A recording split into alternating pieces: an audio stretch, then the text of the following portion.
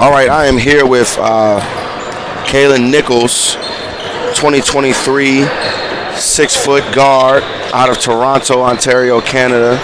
Kailon, what do you think led to the victory today as you guys just came out and put it on New Hampton School? Um, I think it was it was definitely the, the first minute we started off a bit slow. Right. Um, we had a, a big talk in the locker room about picking up, but I think our second minute that came on, they really they really came on, did what they were supposed to do, and that, Mm-hmm. that set the tone for the time the first unit came back on, and we just we just started putting putting our foot down, you know, pushing the ball, getting steals, being locked in defensively. So yeah. Most definitely, most definitely. They definitely gave you guys a boost. And, um, you know, talking about specifically yourself, you as the floor general, the ability to get anywhere you want to get on the floor, finish around the rim, find guys, making other guys better, being the vocal leader, as well as showing off your range a little bit today. But you know, how do you get to playing in attack mode, but playing such such a mature and controlled game as you do? You know, does that come from your upbringing, playing and, growing up in Toronto? Um, I would say I've always been playing against guys like older than me. Mm, I love it. uh, bigger than me. Obviously, I'm not the, the biggest guy on the court. Right. Mostly, like almost never.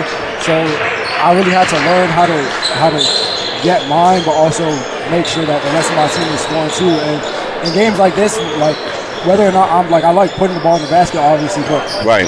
even if, if I'm not the one putting the ball in the basket, I kick it and my teammate scores, it, it, it's the same feeling for me. Most So, I don't have no problems, you know, facilitating, getting my guys involved. Most, I like that. I like that. And one of the, one of the big things I like about your game, particularly, is your ability, like you said, to put the ball in the basket.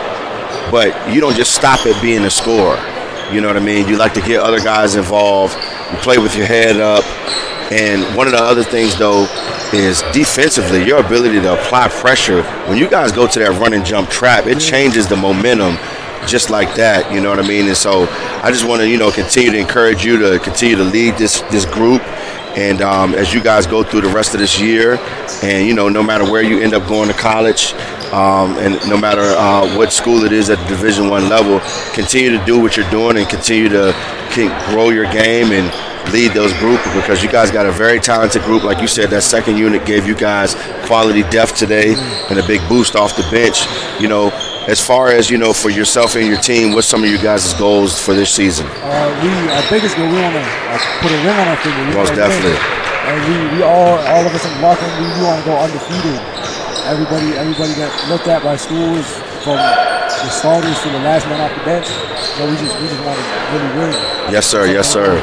Most definitely. Well, I think you have done started off the season doing a great job, and like I said, continue to you know uh, experience that success. And you guys definitely have a blessed year. Thank you for joining us. Thank you. My pleasure.